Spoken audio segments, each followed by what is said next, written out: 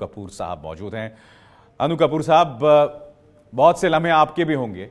बिल्कुल उसी तरह से जैसे कि श्रीदेवी ने हम सब के लिए, हम जो उनके फैंस हैं, जो रहेंगे, ताउम्र रहेंगे, वैसे कई लम्हे उन्होंने आपको बतौर को स्टार भी दिए होंगे, अनु कपूर साहब।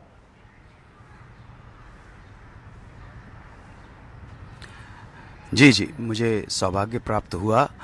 दो फ़िल्मों में काम करने का मिस्टर इंडिया और चालबाज और मैं सुन रहा था कि आपने कहा, बहुत शोकग्रस्त हैं। शोक में भी हैं और शौक में भी हैं। समझ में नहीं आता कि अपनी सेहत का इतना ख्याल जो रखती हो, वो अचानक ऐसे कैसे चली जाएगी? रसल खैमा उस जगह का नाम है। संयुक्त अरब अमीरात में जो सात कन्फेडरेशन है फेडरेशन है, उनमें से रसल खैमा एक जगह है जो बहुत मौसम के तौर पर भी बहुत बेहतर माना जाता है अलैन और रसल खैमा। वहाँ पर वो क्या हालात थे जिनमें उनका जाना हुआ? और ये मॉर्निंग 25 फरवरी की बहुत ही शॉकिंग न्यूज़ लेके आई है। पूरी फ़िल्म इंडस्ट्री शॉक्ड है और शोक में है हम सब। जी। वाकई अनुसाब मैं मैं मैं उस सीन को नहीं भूल पाता हूँ मिस्टर इंडिया का आपके साथ। आप उनके संपादक बने थे और बार बार गलत फ़ोन आता था। और जो आपकी और श्रीदेवी जी की जो केमिस्ट्री थी, मेरे ख्याल से कितने अभिनेता इतने खुशकिस्मत रहे होंगे जिन जिनके इस तरह के लम्हे ऑन स्क्रीन श्रीदेवी के साथ थे। और उन ऐतिहासिक लम्हों में आप उनके साथ थे एक सीन में।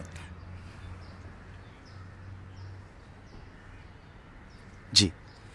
आ, वो जो कैरेक्टर आप बोल रहे हैं जब मैं परफॉर्म करता था वो बहुत बड़ी स्टार हो चुकी थी और आ, हमारे इंटरव्यू में उनके पति बोनी कपूर ने कहा था कि जब वो मिलने गए थे तो मम्मी जी ने कहा था नौ रुपया नौ रुपया लेंगे।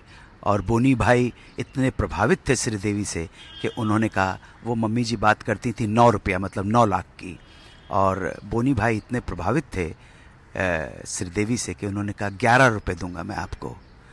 तो बहुत बड़ी एक्ट्रेस थी, वो काम करना चाहते थे और स्टार थी और हीरोइन के सामने जब एक कैरेक्टर आर्टिस्ट काम करता है तो वैसे भी भारत में हीरो हीरोइन तो ज़्यादा बड़े माने ही जाते हैं, इसमें कोई शक नहीं है।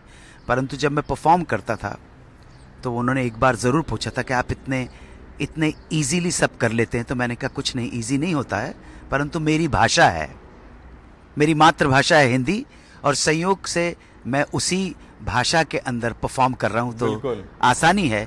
अगर मुझे तेलुगु में या तमिल में करने को दिया जाएगा तो मेरी भी वही हालत होगी जो आपकी हालत हो रही है। बिल्कुल सही कह रहे हैं आप अनु कपूर साहब। श्रीदेवी की यही तो खासियत थी श्रद्धांजलि है। कि बिल्कुल श्रीदेवी की यही खासियत थी अनु कपूर साहब की उन्होंने एक ऐसी भाषा को अडॉप्ट किया ऐसी भाषा की वो सुपरस्टार हो गई जो वो बोल नहीं पाती थी। उनकी आवाज़ को लेकर उनकी आलोचना होती थी। मगर ये तमाम चीज़ें फिर आखिरकार उनकी ताकत बन गई अनु कपूर साहब जी जी जी बिल्कुल अग्री करता हूँ बिसार जी और चालबाज तक आते आते वो पूरी पारंगत हो गई थी एकदम हम्म। तो अभी आप लोग जो टीवी पे वो जो एक दो सीन शॉट्स दिखा रहे हैं सेगमेंट वो वही हैं जब वो विलन्स की पिटाई करती हैं और बार बार आ, मेरे क्लोजअप्स और मेरे मिड शॉट्स आ रहे हैं चालबाज फ़िल्म के तब तक आते आते वो हम्म। काफ़ी अच्छी हो गई थी हिंदी के अंदर। और अभी मुझे दो दो तीन महीने पहले एयरपोर्ट के लाउंज में मिली। मैंने उनको देखा, वो बैंगलोर एक फ़ैशन शो में जा रही थी। कितनी सुंदर दिख रही थी। कहीं कोई आभास नहीं था कि उनको, उनकी कोई व्याधि होगी, कोई मतलब इस इस इस लड़की को कोई कोई बीमारी हो सकती है। अपने सेहत के लिए, अपने खाने पीने को लेकर इतनी कॉन्शियस थी वो। हम्म। अचानक झटके में ऐसे आदमी चला जाएगा कुछ सोच भी नहीं सकते। बिल्कुल सही कह रहे हैं फैंस हैं। बिल्कुल। श्रीदेवी जी जी। पर्सनल लाइफ में बहुत रिज़र्व थी वो और उस टाइम की जो हीरोइंस थी मैं उस टाइम की हीरोइन मतलब उनको ये नहीं कहना चाहता उस टाइम शब्द बोलते ही आपको लगेगा कि सुरैया जी और वो नहीं नहीं। हाँ हेमा मालिनी सुरेखा ये लोग सब रियल लाइफ में गंभीर रिज़र्व हैं वरना लोग अनड्यू एडवांटेज उठाते हैं वही श्रीदेवी थी वो। बिल्कुल। मेरे कहने पर मैंने हाँ, ज़बरदस्ती आर के स्टूडियो में शूटिंग चल रही थी हमारी हाँ, तो हाँ, मैंने शेखर कपूर जी। बोलिए बोलिए मैंने कहा कि मैं ये कहने लगे कि जलेबी नहीं खाएँगी मैंने कहा मैं खिला देता हूँ।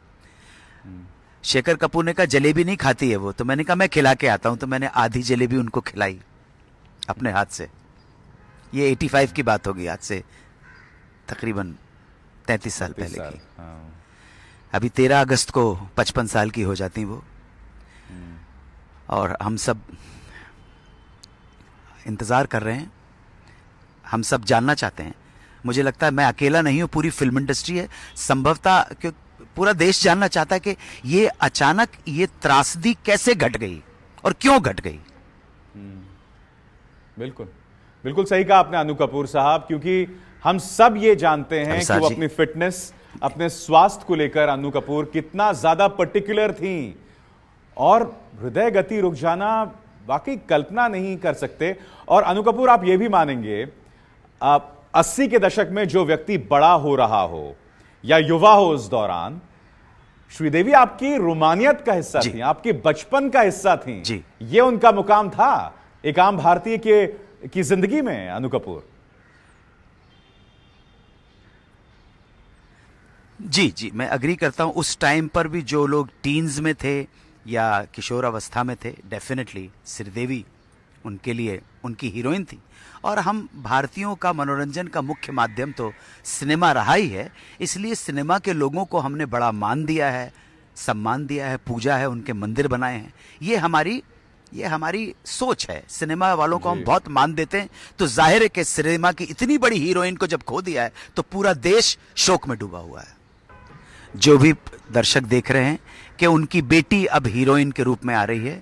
अगर आप हम्म। श्रीदेवी को चाहते हैं प्यार करते हैं तो उसकी बेटी के लिए प्रार्थना कीजिए उसकी सफलता के लिए कि बेटी अपने माँ बाप का नाम रोशन करे। इसी तरह से हम एक्चुअली श्रीदेवी को श्रद्धांजलि दे सकेंगे। बिल्कुल बहुत सही बहुत खूबसूरत बात कही आपने अनु कपूर साहब। और जैसे कुछ देर पहले मैंने आप लोगों को बताया था देखिए कितना बड़ा क्रूर मज़ाक है नियति का। कि जब अर्जुन कपूर की फ़िल्म रिलीज़ होने वाली थी शखजादे मई 2012 में, उससे सिर्फ़ दो महीने पहले बॉनी कपूर की पहली बीवी मोना कपूर चल बसी थी। और अब जाहनवी की फ़िल्म रिलीज़ होने वाली कुछ महीने पहले श्रीदेवी चल बसी हैं। बाकी कुछ चीज़ों के बारे में हम कल्पना भी नहीं कर सकते हैं, हम सोच भी नहीं सकते हैं कि आखिर क्यों होता है ये। सिर्फ़ चौवन साल की तो थी। सिर्फ़ चौवन साल की। ये है एबीपी न्यूज़ आपको रखे आगे।